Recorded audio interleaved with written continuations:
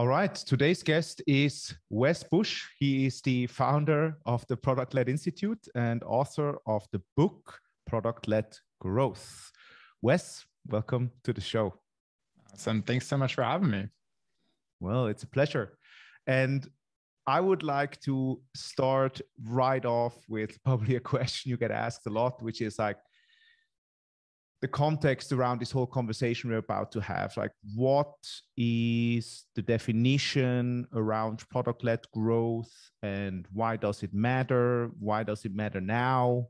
Um, so we can get that out of the way and kind of dive deeper into into uh, certain topics.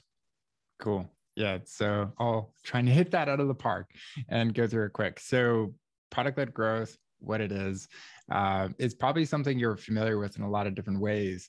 The term itself is new though. So I'll give you a couple examples. If you think of cologne, buying a car, shoes, they all have this one cool thing in common, whether it's like trying on a pair of shoes to see if it fits, whether it's before you make a purchase decision with a car, you want to test drive it, whether for cologne or perfume, it's like you want to sniff it, you know, see if it actually smells any good.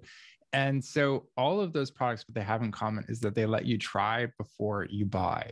So a lot of people think, oh, that's product led growth. And there's large truth to that. And that is a component of it. It's not the whole kimono though. So like most people will see like, ah, okay, that's that's part of it.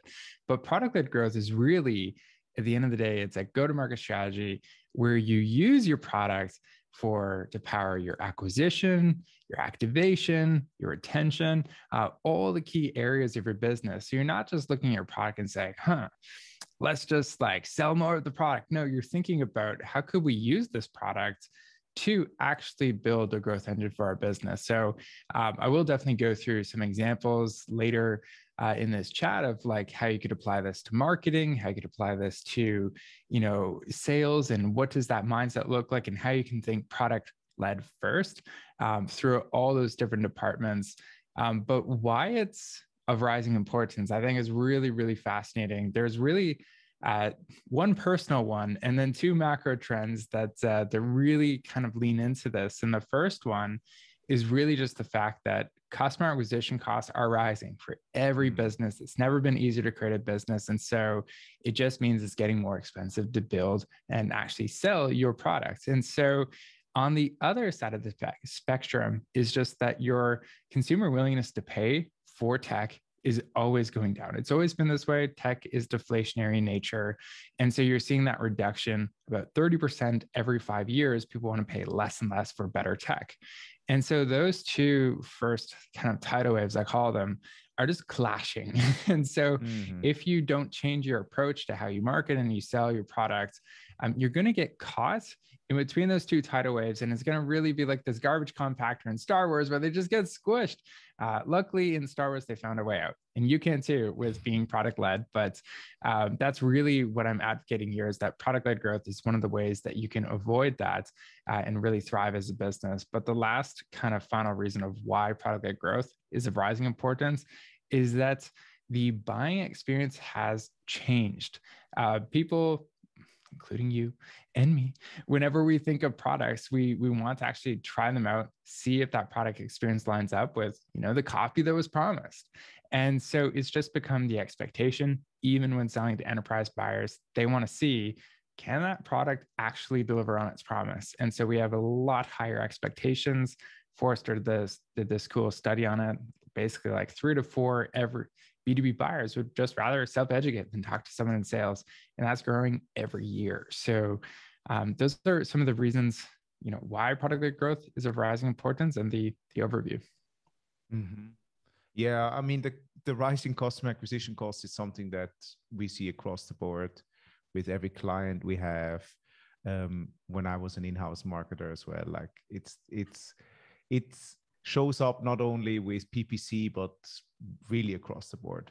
And um, so, one thing that I was particularly fascinated by was whenever you talked about like time to value um, when doing onboarding um, or when somebody actually sniffs out um, your product if you want. Um, can you talk a bit about like what you mean by time to value and why it's so important? Yeah, absolutely. So, um, time to value and onboarding uh, are really the crux of building a successful product led growth strategy. So let's imagine you're a sales led company, you're mostly selling to enterprise buyers right now.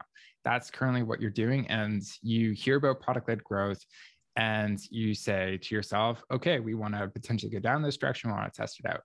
And so you see all these other product led businesses that have free trial, free models, and you're like, okay, we'll, we'll just pick one. We, you pick a free trial and then you just slap it on. People can go right into your product and then they can figure stuff out on their own. Now, if you were a sales led company, typically, uh, if your ACV is over, you know, 50K, uh, you're going to have some sort of like customer success rep onboarding your customers and helping them really see value from the product uh, when they do sign on as a customer. But when you become product led, um, that's no longer usually a luxury because uh, now you might have thousands of people signing up for your product who want to see the value, don't want to talk to people, and what can often happen is someone will sign up for your products, they don't get value, they're not going to come back. In fact, 40 to 60% mm-hmm. of users who sign up for products that are product led and they don't experience any value whatsoever, they're, they're just not coming back ever. So it's a really uh, big churn when you think of that. It's just a ton of people, mass exodus of people who just won't come back to your product. And so, what you got to think about there is how do we tackle that? Why it's so important is obviously like if they don't come back a second time, you probably aren't going to get them as a customer. And so, um, that's really why it's so important. We could dig deeper into what to do about that if you want to improve your time to value. That's a whole nother fun can of worms. Um, but that is really why time to value is so important because if you don't get it for product led companies, it's basically game over. People just have no reason to come back. Your product didn't deliver on its promise, it didn't deliver any value whatsoever. And so you need to, to make sure that you have that first time user onboarding experience of fine tuned to help people get value. Mm. And I think one of the major things we should also probably talk about is um, when product led growth make sense? I mean, I mean, do you say it always makes sense? Do you say like, are there certain criteria you use in order to when you talk to a client or when you talk to um, I don't know somebody in the community who asks like how they should start or if they should start? How how do you evaluate the I would say like product led readiness or something like that?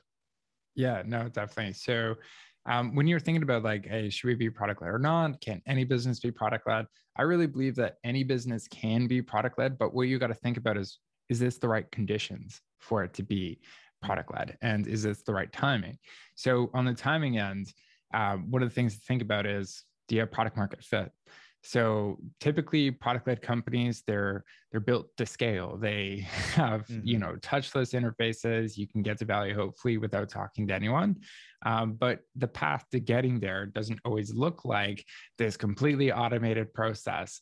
Um, a lot of sales-led companies that are making the shift from sales-led to product-led um, they're actually brute forcing it a lot. and, mm-hmm. and I love it whenever I see it because they might actually have this completely manual free trial process where, you know, you see a free trial call to action, then you request a free trial, then you have to hop on a call and get on board on that free trial. And then they walk you through the steps and you can figure it out as well. So, like, there is steps to getting there. Um, but the product market fit is one of the big things that I would say once you you know you have it you have some of those compelling reasons to be like okay we really need to to scale up uh, the product led go to market strategy is the most effective efficient way to to grow that business. Uh, once you get to that point you, you want to be the first in the industry who has this because there's just so many more advantages you can access like a wider top of funnel a stronger growth engine uh, and that's just scraping the surface. And so um, the other kind of thing to think about too is as far as the condition is what kind of ocean are you in If you're in a mm-hmm. red ocean where it's super competitive, everyone knows the space. Let's say it's live chat software or something like that. It's like, okay, it's super competitive there. Um, product led is probably going to be one of the only ones you want to have because the customer acquisition costs in that space are consistently rising as things heat up, get more competitive. You want to have the most efficient go to market model. And if you're in a blue ocean, though, things can change. I have seen product led companies thrive in this area too, if it's simple to understand. But in a blue ocean, if you're not familiar with what that is, that's a new market that you're creating, net new demand. People haven't experienced this product before. This is AI before it was AI. Mm-hmm. and so in this case, you might want to have your caution lights on and say, you know what, people don't quite understand uh, what our product is, how we're going to help people. So, uh, a salesperson is so effective at this. They can understand the problem, they can challenge people, help them identify their problems. Uh, whereas in a red ocean, most people are like, ah, I need live chat software. I have this existing problem. We just like threw out the other product. It wasn't working. we want another one. Right. And so people are going to buy way easier in a red ocean. Um, but a blue ocean does have a big opportunity to turn into a red ocean eventually. So you do need to understand uh, when it might be the right time if you are in a blue ocean to to switch over to that product led model. So those are the the two main ones that I would be thinking about is product market fit and what is your ocean condition. Mm-hmm. And I mean, when you talk about like sales led organizations, I mean, especially I was uh, before our conversation, were saying a lot of the people um, listening to this podcast, um, they're kind of in the enterprise SaaS um, market or have um, ACVs above 50 or 100k. And what I hear a lot is like, yeah, but how should we do a free trial? Our software is too complex, or we have an integration part that we need, right? Like there's like a almost a, consult, uh, a consulting part um, in, in, in the beginning in order to um, integrating with other software that you're already using and stuff like that.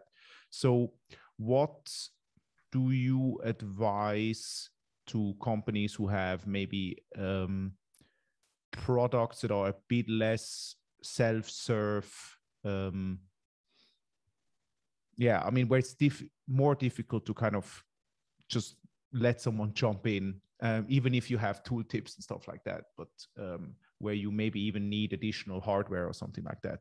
Um, yeah. So there's a couple things that go into this. Uh, when you're making that transition from sales led to product led, uh, one of the biggest things that changes is you really need to focus on a different person that you're targeting. So most sales like companies, you're you're going top down.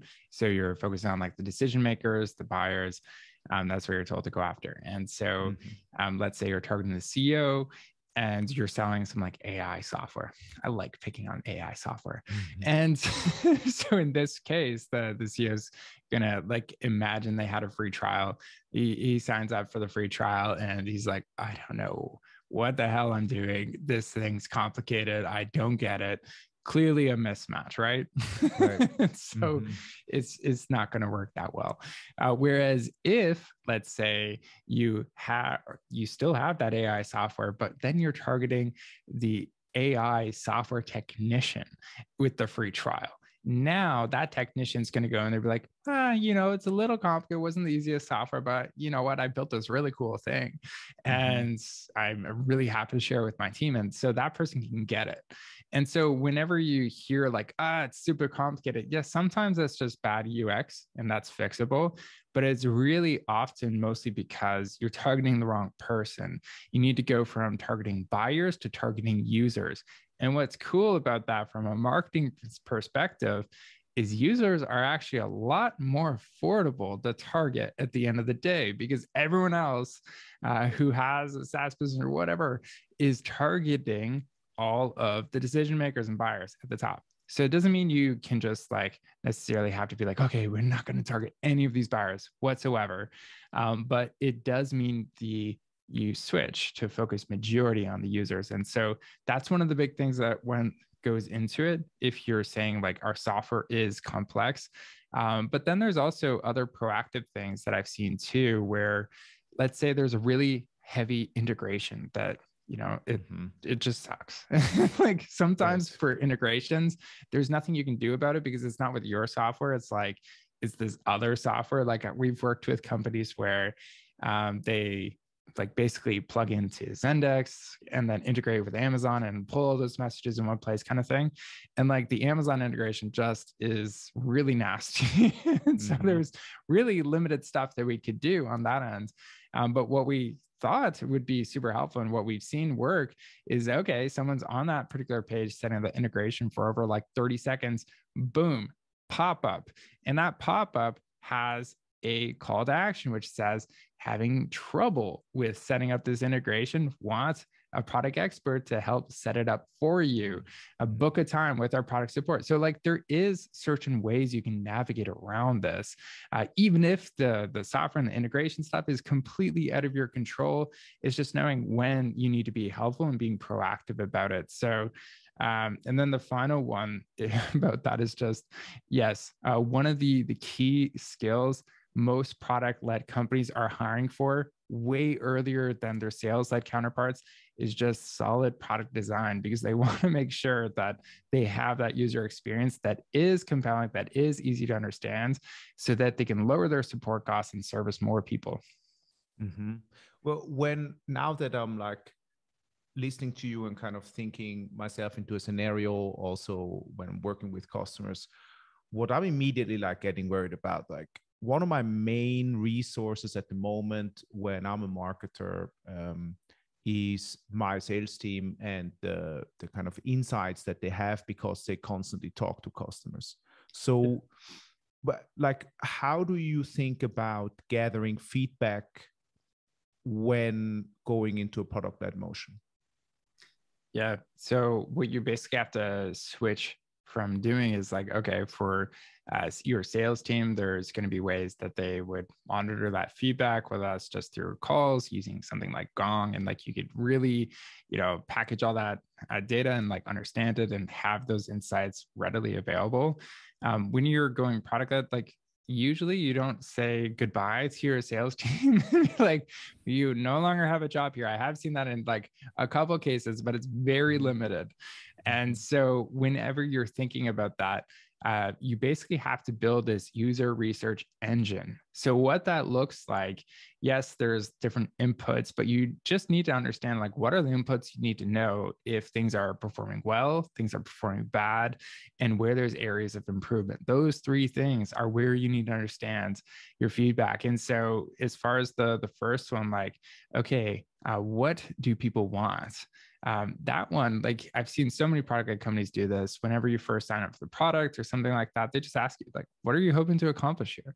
And that could be asked in an email. It could be literally like the form pops up after you sign up like congrats we just want to know more about you kind of thing.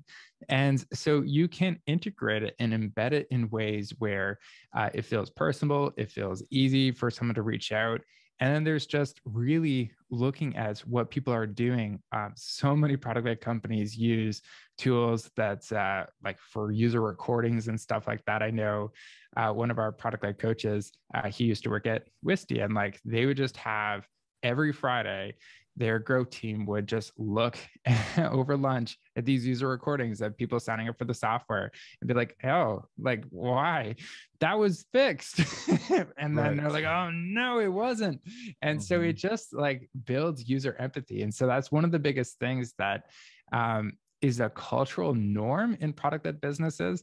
That's not always the case in sales led companies. And so that's something that you really do need to shift is like, what are some of those activities and ways um, that we could build that user empathy with users? I know um, Ahrefs, their marketing team, everyone has to do support one day a month.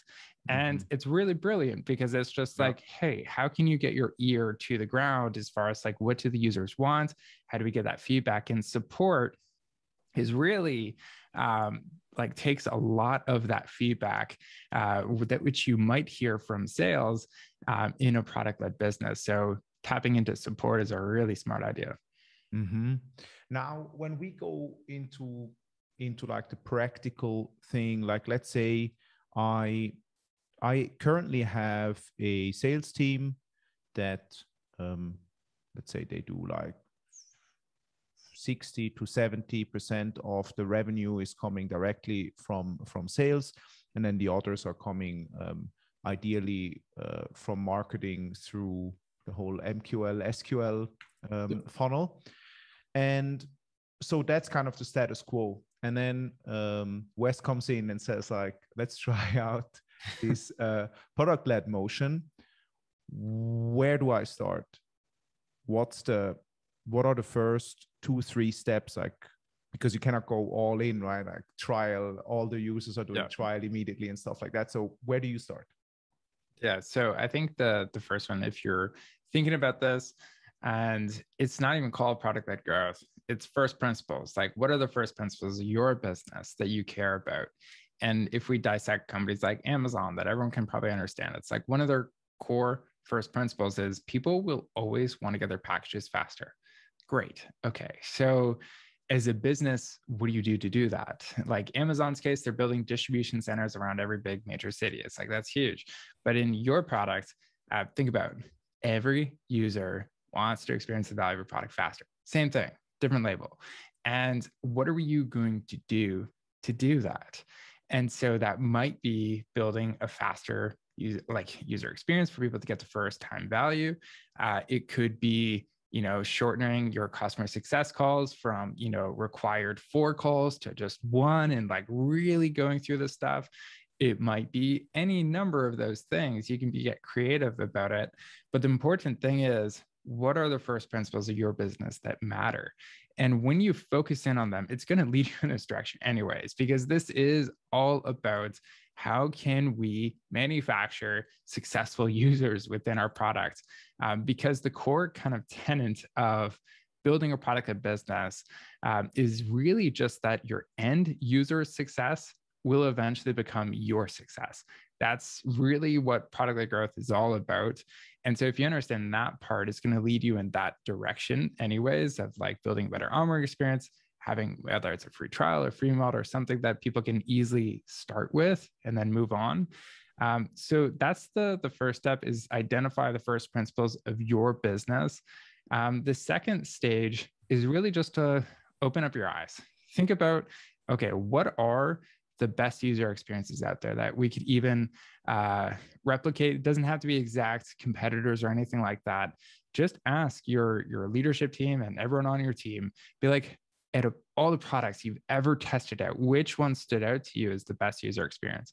Because that's really another core part of building a product of business. You want to create something that people love to use. They they re- basically, if they're at work, even they're like, oh, I love this product, and I want to get more of it. And so that's really that what you try and do when you have that list is just dissect. So what went into it?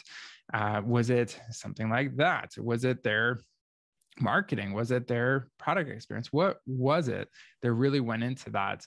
And so you're just trying to look for patterns. And so um, the third stage is really you need to have someone who's going to lead this. This could literally just be mm-hmm. starts off with tasking someone on the leadership team be like, hey, could you take the lead on exploring this, researching this, read everything you can about this, go deep on it. and usually, what happens is that person will start part time on this. They're going to start uh, exploring it, and eventually they're going to have to um, build their own product growth team, which typically has like a, marketer, someone on growth side, designer, and also an engineer to actually launch some of these experiments mm-hmm. into the market, test it, and when they start getting some small wins, they can take some bigger swings and and move forward with this. So that's typically the first probably five steps. I went over the three. yeah. No, but it's interesting. So when you say the, this first person, and I mean, uh, you also have kind of a certification process yep. um, um, on your on your website productled.com. Who are like what is this group of people who who who take this certification or who start these kind of programs inside of companies like who are those people if you would have to say? Yeah, totally. So it's usually it starts with senior product leadership. Um, mm-hmm. they're the ones who are thinking about this ahead of time and being like, we need to evolve the way we we sell our product and how it goes to market.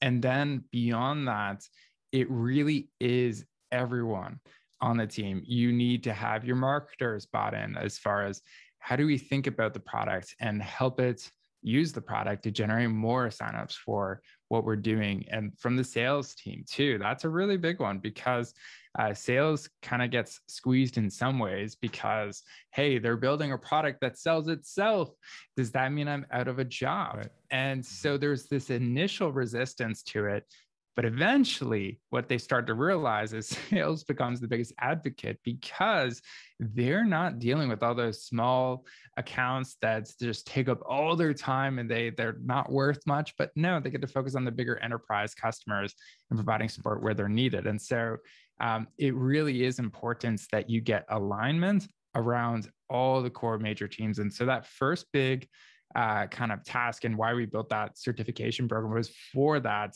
build a product that sells itself because that's the biggest thing that you need to focus mm-hmm. in on in the early days is get that initial adoption and get alignment around what's required to actually do that.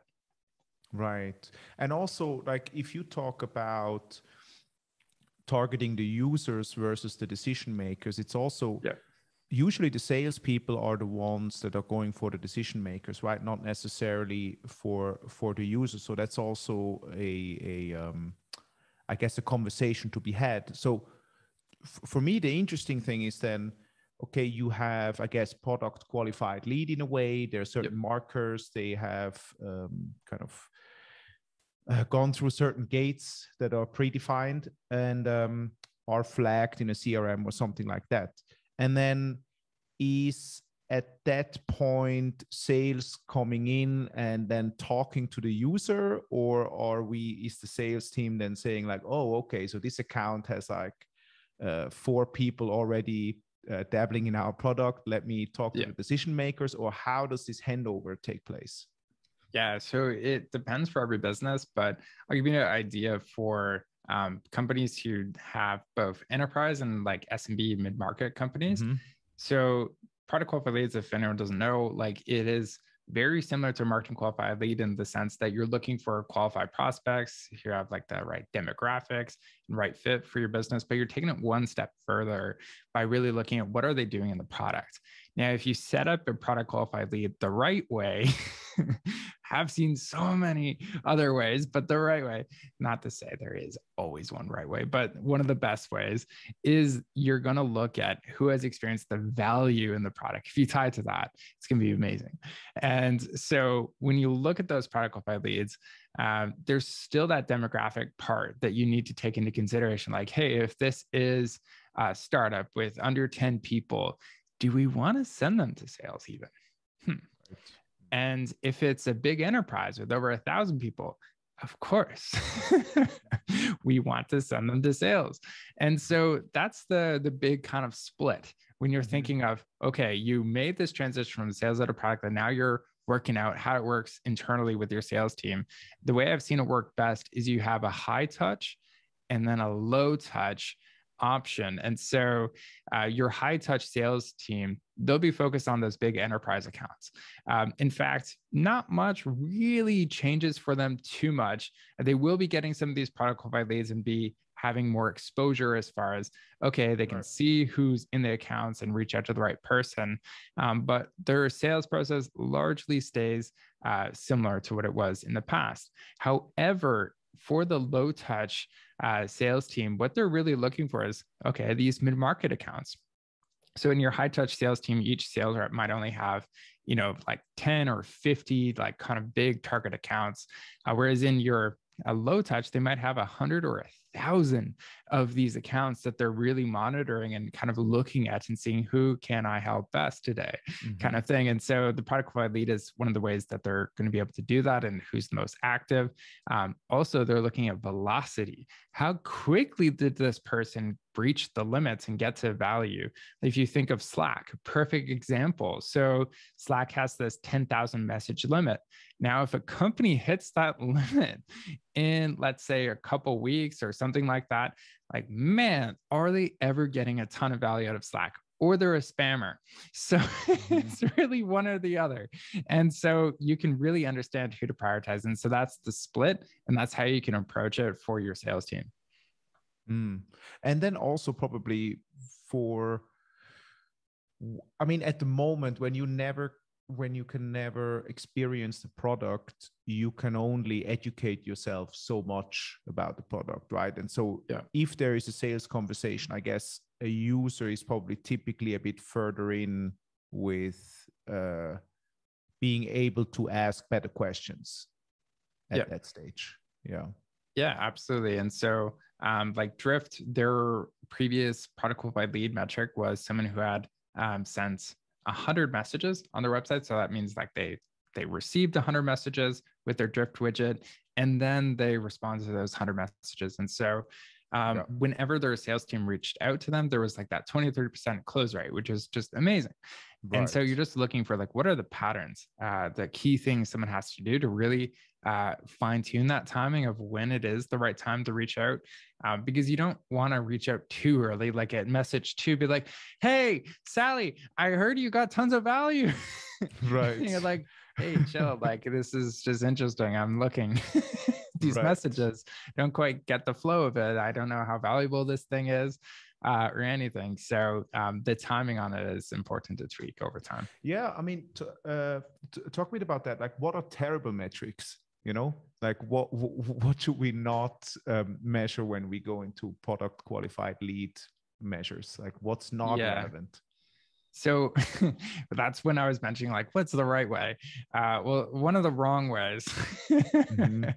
is just calling it a sign up. So, like, a sign up is someone who clearly just signed up for your product. It's not a right. product qualified lead, not even right. close. Like it is, you do have to do more work within the product to, to get to that point. Um, I do see some teams just pick something like that because they don't quite have the um, product analytics set up and they just want to have something so they can monitor yeah. this and start tracking it. And I think that's absolutely fine. I actually mm-hmm. recommend that because it's better to start with something and evolve it over time than just be like, uh, you know, we'll never get it. Mm-hmm. like, mm-hmm. It's like, come on. Yeah. Uh, it's going to be so helpful for you in the long term. And one of the other cool things about product qualified leads, uh, I call it like the unifying metric of product led growth because every team has a part in it. Your marketing team is going to start looking at, hey, which campaigns drove product qualified leads? Because those ones are really important. You know, that trade show we sponsored the party at? Ah, yeah, surprisingly, it didn't generate any of those mm-hmm. product qualified leads. Fancy that. Let's not do that again. Uh, whereas your sales team, they're going to start looking at, okay, um, you know, those MQLs, they're okay. But you know, give me as many of those product qualities ever because they close like hotcakes. I want more of them. And so you're they're going to be looking at them to say, okay, what is going on? How can I get more of them? Your support team and product team can then be looking at, okay, from sign up to product mm-hmm. by lead ratio, what percentage of them didn't make it?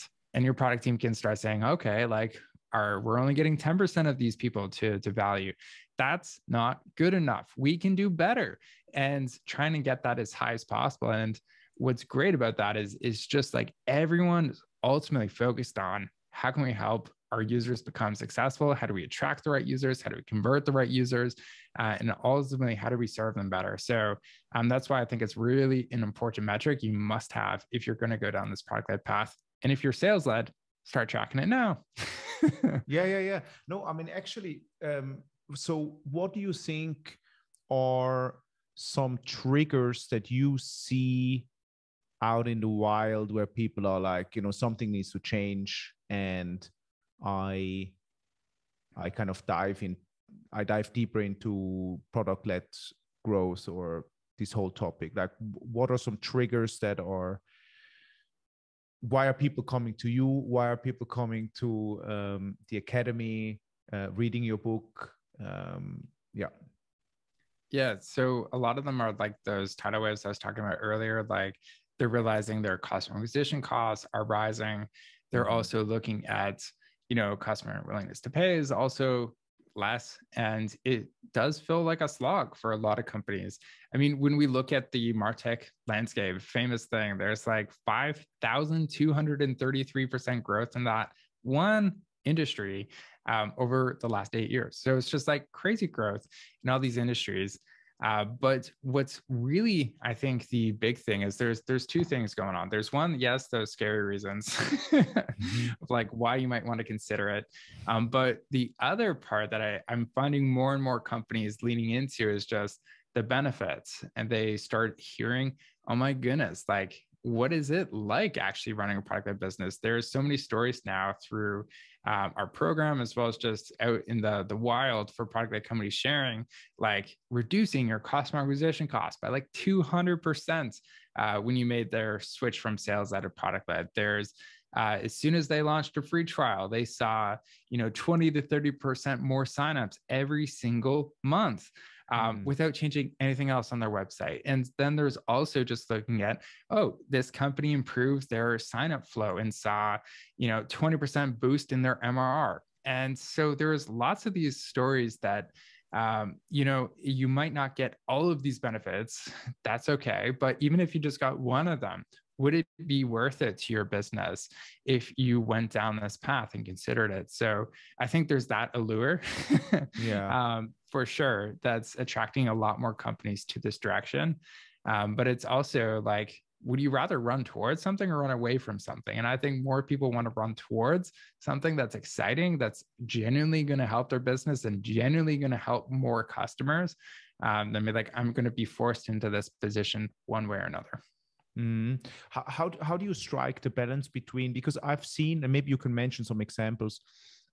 Um, how do you strike the balance between um, the kind of call to actions that people take on a on a on a website? So let's say you got them through LinkedIn or you got them through Google Ad or you got them through whatever channel and they're landing on your website and I've seen quite a few cases in B2B now where they have both the demo but also the kind of trial um, yeah. uh, mm-hmm. side by side, and both in terms of like um, ad spend, but also in terms of just visual hierarchy and so forth. Like how how do you kind of balance that, um, or what have you seen people um, doing or thinking about, and maybe some examples also that that you like.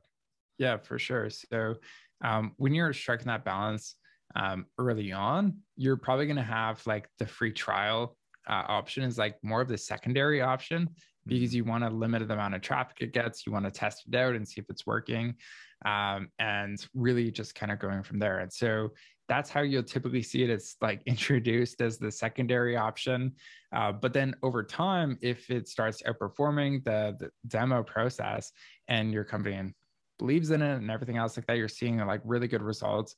Um, typically, you'll see that take over eventually as the primary call to action. And so um, that's really interesting. But then what you also I've seen quite a bit too is with a lot of like enrichment tools um, that are available to companies nowadays. There's also this choose your own adventure style. And I think that's really going to be part of the future as well. Like if let's say, you know what, you're targeting Dell and okay, the CEO signs up or goes through the process. Um, it'd be nice if they have the option like, hey, you have two options would you prefer to talk to a product specialist um, about this or would you like to just go see for yourself what this product is all about and so i really am seeing that as like a really compelling option for a lot of companies to be like hey let's have a hand raiser within this process if they want to, to talk to us they can mm. Um, but what most companies are seeing is that there is predominantly most people just want to self educate as long as possible. Um, and then finding that timing of okay, when does it make sense for sales to reach out? Um, that's really the the tricky part. And there's one kind of like rule of thumb that I recommend for any company to consider when you're thinking about when to embed sales in your process or if you even need sales. And you have to answer this question, which is um, Is your sales team adding value or friction? Now, if it's right at the very beginning, the only way people can talk to you and learn more about your product is through a demo. I firm advocate, you're adding friction. Um, and a lot of it, when you think of, oh, now they got to schedule a meeting with you, oh, now they got to pass from the SDR to the account executive, it just goes on. And so um, that's a really interesting thing. Whereas if the salesperson's reaching out whenever they see, hey, this person is like in Slack's instance, they're hitting their 10,000 message limit and they're losing access to about 10,000 messages per month. I might want to reach out to the person who set up the accounts and let them know that, hey, like if they, they don't sign up, they are actually going to lose access to important files. Uh, it'd be a shame for that to happen. And so, like, that salesperson is adding a lot of value, I'd argue, and they can be proactive about it. So, um, that's really a long winded answer as far as the call to actions, how you can think about that strategy and rollout. Mm-hmm. And now, I mean, as I mentioned in the beginning, like most people who are listening to this are marketing leaders. And so, for me as a marketing leader, like what changes when you have this first person um, from product kind of putting together this team and there is a second call to action and like so and, and maybe there's a split test going on on the website let's say 10% are going for the free trial or, or only see the free trial or something like that. Um, and now this team is um, seeing results and wants to grow and maybe may even make this like a, a, a major mo- motion going forward where do i need to um, be proactive as a marketing leader and how can i support this? And what changes for me as well? Cool. So i got four big changes just wrote them down. Mm-hmm. um, so you got to go from mql to pql internally as far as like what you're measuring. Uh, you can still use market qualified leads, but like what is the one you really wear your hat on and focus on? Product qualified leads should be there. And then targeting, go from targeting buyers to targeting users. Um, that's a really important distinction uh, that you do need to focus in on. Um, as far as your call to action, like we did talk about, it's not going to be an overnight thing, but eventually you want to go from like your primary call to action is demo to whether it's free trial or free model or some free model and then go from making white papers and ebooks uh, to really just driving as many free signups as possible. And so you'll typically see like these sales led companies have like some sort of email goal of lead generation, and it'll just be focused on like, okay, we just need free signups. This is what we focus on. This is our goal. Get 100,000 signups. it becomes really mm-hmm. simple. Mm-hmm. And so when when you say we, uh, the marketing team is mostly kind of measured by how many product qualified leads are getting into the pipeline, are you saying that a lot of the content is then ungated and we are going away from kind of um, the whole ebook gated ebook thing, which is probably a good thing anyways. Yes. But like, um, I mean, most company that we work with now, or or um, kind of our ideal client um, is is is focused on SQLs anyways for uh, even yeah. in the marketing team. So um, I guess the product qualified lead is something in between an MQL and an SQL um, um, in a way, or how would you kind of where would you put the the, the product qualified lead?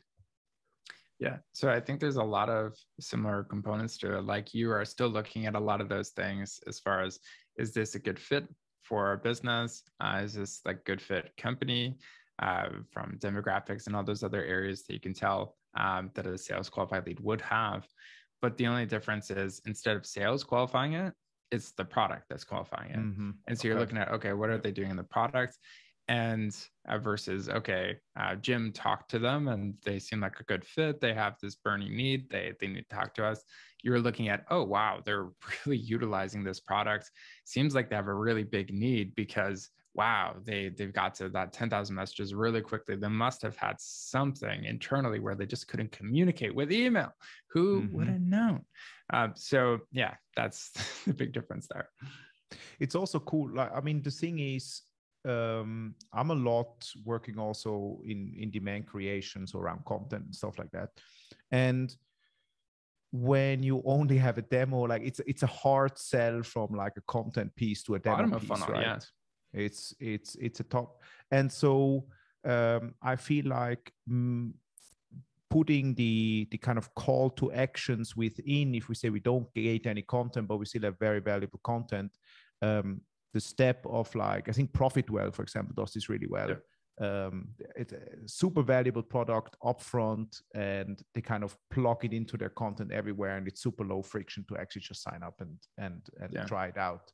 Um, how how would you integrate this kind of call? Uh, where and how would you integrate this kind of call to actions to trials um, uh, if you're like in marketing and saying, "Oh, we, we abolish MQLs," um, the the traditional ones coming from uh, ebook downloads and so forth.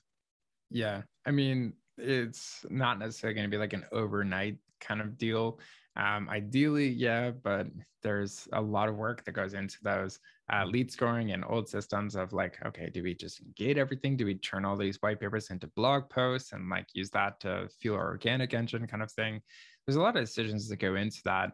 And you're totally onto something as far as like, yeah, I feel like as far as uh, space is headed and where everyone wants to go is like, yes, less ebooks, more just value through mm-hmm. using the product.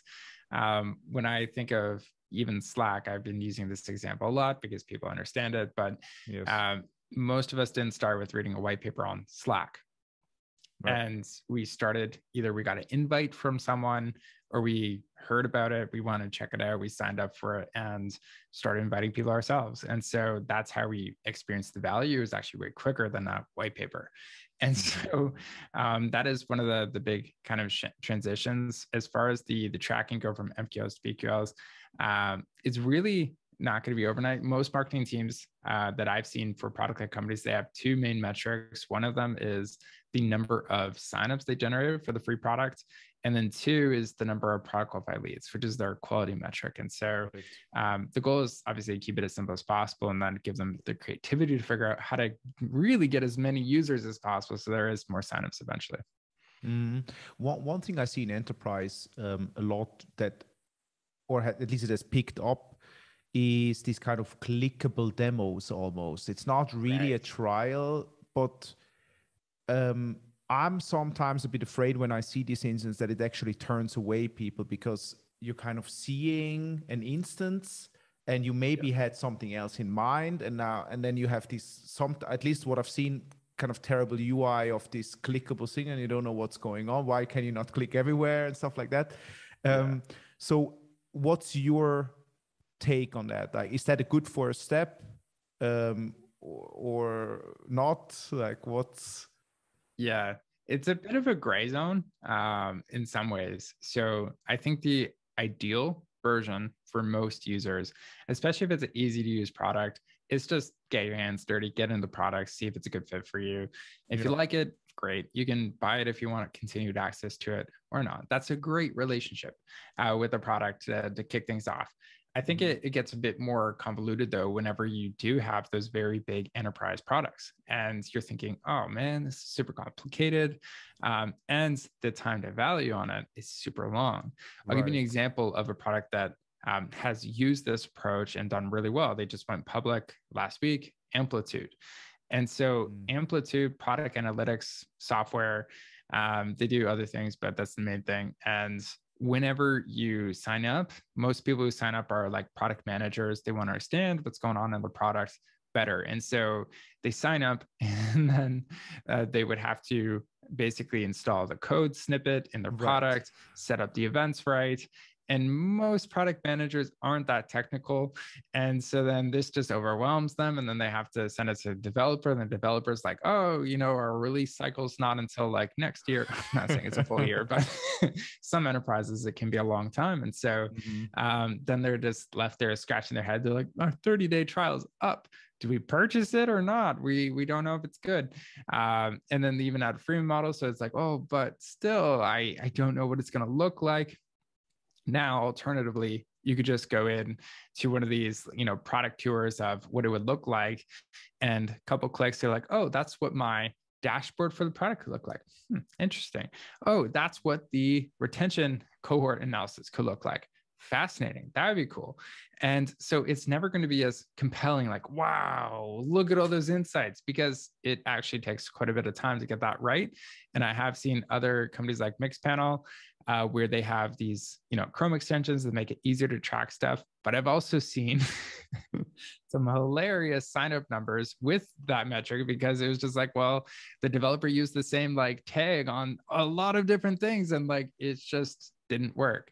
And so right. there is risks of creating a faster time to value in some of those areas too, when you think about it. So um, that's one example where it can absolutely work. And as you're thinking about that transition from sales led to product led, I think it is a really good next step to, to test it out if you want something quick and dirty, where it's like, hey, we can get people to at least see what the product is all about without signing up for a demo. To your point, uh, as a marketer, this is attracting someone who's not even at the stage of someone who's ready for a demo. They're earlier in the funnel, which mm-hmm. is exactly what you're going to get access to when you go product led as well. Um, so I think it is great from that perspective. You're going to get more leads, uh, but it might just not be as powerful for someone to be like, wow, I want to get this. Uh, it depends on your your problem though. Right. Do you also um, consider stuff like this famous like w- Website Grader from HubSpot or like um, uh, what's the tool called? I think Pablo it was called from Buffer. That is like kind of a site tool, but yeah. you also get signups, and it's maybe auxiliary to like uh, the, the product um, um, that you're actually selling. What do you think about like what do you call that actually? And then um, what do you think about those kind of tools? Does this qualify for this whole product led growth approach, and how does it fit in? Yeah, no, definitely. So I'll share a personal experience first, and I'll share another example that's a bit more marketing centric. So mm-hmm. uh, when I was working at Vidyard, video hosting platform, um, they initially just had a free trial for their main product. And so if you thought about it, it was actually kind of a strange way to set it up because someone would sign up for the free trial, they'd have 14 days, and then they would have to basically upload their own video, um, embed it on their site, and then they could get the analytics for the video. So there was actually quite a bit of steps there um, mm-hmm. that someone who was just willy nilly signing up would be like, oh shoot, I got to bring my own video and get this up on the site, and then I can see like you know ten people saw it, unless it's the mm-hmm. homepage, which you probably don't want to test it on anyways. Right. Um, so there was a, a big ask on that end, and so what we actually ended up doing is launching another alternative product that was complementary. So it's called ViewedIt, and it was just a Chrome extension, and you could mm-hmm. click it and record your screen and send it to your prospects, coworkers, whoever. And you can immediately see, uh, you get a notification, your Gmail, and be like, hey, this person watched 98% of your videos. So, like, it was really an easy, quick way for you to showcase the value. And all those videos eventually went into the main product. So you could see even more analytics mm. and get a faster time to value through that end. And so um, if you're stuck with your current product, you might be thinking, huh, what could be a good complementary uh, way to, to accelerate that? And it all comes down to the customer journey. Like what are the beginner problems of your customer? What are the intermediate ones? What are the advanced ones? Like at vidyard we were trying to be product led with the intermediate problem which was you have a video you want to put it on your sites and get analytics the beginner problem was you don't have a video. mm-hmm. you need to make a video. Yes. um, and so you had to do that step first. And so that's mm-hmm. really the uh, the best place for you to build a product led business or a new product uh, is in that beginner problem set. Um, I'll give you another example for that. So ConvertKit, their email marketing platform, do amazing things. Um, but back to that example, the intermediate problem was they were trying to help people send emails to their list uh, as a creator and make a full time living from it. And so that was their goal, that was their mission. Um, but then they went back to the drawing board and said, um, okay, how do we grow our business? How do we get more leads and more people who want to do this? And they started looking at that beginner problem set. And one of the problem sets of building a list is we need emails. How do you get emails? Well, you need something to, to get them to do that. Yes, there's forms, um, but you're not just going to necessarily put up a form on a website because you got to build that website. So like they're talking like the V1 creator here who mm-hmm. doesn't have a website, doesn't have something like that. So they need a landing page. And so they started there and said, let's just create a free landing page tool and it's going to help everyone who has access to ConvertKit for free get access to more emails if they use these tools. They're pre-vetted templates. They work. Just edit the copy. You can do it in five minutes. And that was way more effective than writing a thousand blog posts on landing pages or creating more ebooks and white papers on how to build great landing pages. It was just here's the product, try it out for yourself, build the thing, and get results. I love that. Yeah, it's basically um, I, the, the, last sentence I think I think is the key. Like you you have to make the decision between should I create a bunch more content or should I create a tool maybe for the same amount of money and and time investment actually um, over if you if you if you look out over a year. Yeah. Yeah. Cool. Yeah. And and so maybe I think we have to um, close the conversation soon. Um, so when you when you think about like marketing product and sales kind of having to sign up for this whole program and one thing that i know from a marketing leader perspective is it's it's it's always a tough if you need to go to your boss and say like hey i want to try something revolutionary new yes. even if it's you know it, it sounds revolutionary oftentimes right even if it's like uh, you know freemiums and free trials have been out there for a long time. What are some arguments that you have seen that work really well? Or like what are some hard hitting slides um, that um, that you that you've seen out there that work really well yeah I mean, if people sign up for our program, we try and give them access to like this, what we call a kick ass email template that goes through all uh, the benefits of product that go to send to your uh-huh. manager. But um, the basic thing is like, you don't necessarily have to make a revolution. There's this quote I love, which is it's an evolution, not a revolution. And mm-hmm. whenever it comes to uh, being product led, I think that's really important for a business is like, yes, it may feel like a revolution, but it should be uh, more of an evolution. And the difference is like a revolution usually has like some sort of crazy leader that's like, yes. let's kill everyone. it's like, no, no, no, yeah, yeah, stop yeah. it. That's stupid. Mm-hmm. And mm-hmm. evolution is like, okay, we're just evolving, we're iterating. And that's one of the mm-hmm. core things of any great product led business or any business period is you're just always iterating. Um, so one thing I'll add as far as like, since I know a lot of your listeners have enterprise companies um, and are potentially thinking of making this transition from sales that are product led um, is you might it might even take you a few years to even feel close to being like hey we are product led even if you start today on that journey. And so when you're early stage starting out start with like what are the the low stakes items. So if you started improving your onboarding experience and could help your users uh, get the value faster in your product, you're going to be able to monitor that and see wins in your NPS. You're going to be, be able to see, hey, people are sticking around longer, people are getting more value. So there's tons of ways that you could start without rocking the boat too much. Um, because what's so important about that is starting small, one, um, but you're going to be associated as someone who is getting the wins on the team. And people always want to be associated with uh, that team that is helping really change the business in a positive way. And you can get a lot more people behind it because um, this may start in the product or marketing team for a lot of companies, but you do have to get everyone else aligned and bought into it. Um, and showcasing those ones is the easiest way to do that. Perfect. And so, tying in where you want to send people, um, most of the people here listening are marketers and they listen to this they're like oh yeah hell yeah let's start with this. Um, it's probably not going to be me but um, i'm sending my product managers um, some resources. Where do they start? Like what's the first touch? The first touch. All right. So yes. if you're gung ho this feels like something you want to test out and explore, the first thing is read the book, Product Led Growth. I just start there. It goes through this whole approach in more details. I was actually like, I had written it for one of my clients who was making this transition from sales at a product led. So, like, you're going to find so many things uh, relevant to you. And then, if this is something that you seriously want to consider even after that, um, take our product led growth program. Uh, it's literally going to help you just build that product that sells itself, that V1 version, that messy version, um, but it'll work. cool.